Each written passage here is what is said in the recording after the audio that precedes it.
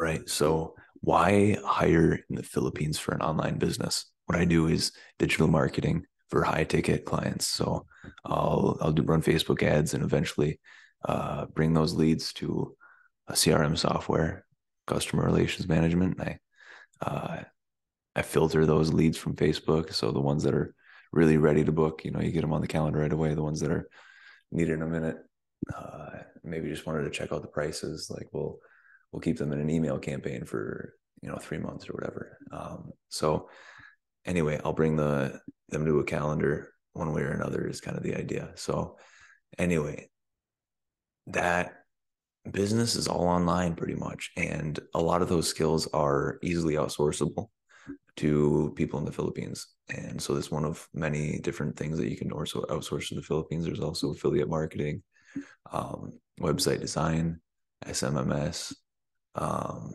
whatever you want, really. I mean, as long as it's online, you can you can pretty much find somebody that will do it in the Philippines for way cheaper and do a really good job with it. Sometimes you have to search for the ones that have amazing English because a lot of them they can speak and understand everything. They can have fluid conversations without even thinking about English, but the way they speak it over there is different. They have uh, some sentence structures are uh, more like their own native sentence structures, and some words are a little bit different.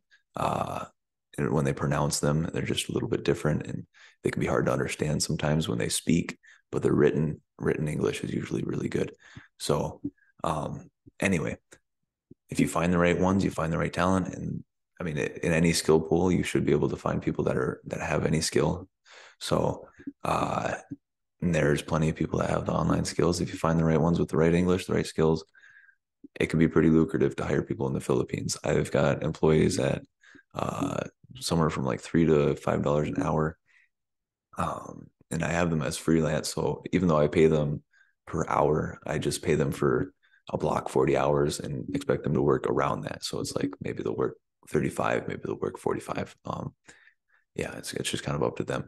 But as long as they're providing great results, it doesn't it doesn't really make much of a difference. They they provide a lot more value than uh, what I have to pay them for them to be living a really nice life over there. That wage is amazing for them. Um, so anyway, that why why hire in the Philippines? It's cheaper. That's that's the idea. It's cheaper. It's easier for a startup business like me or like maybe you watching.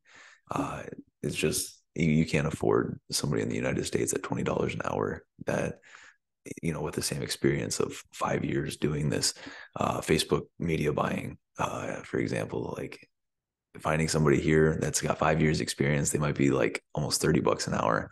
And that's like, no way. Like that's like my entire budget. I can't, I can't afford that. So, um, that, that would be why I would hire from the Philippines. So yeah.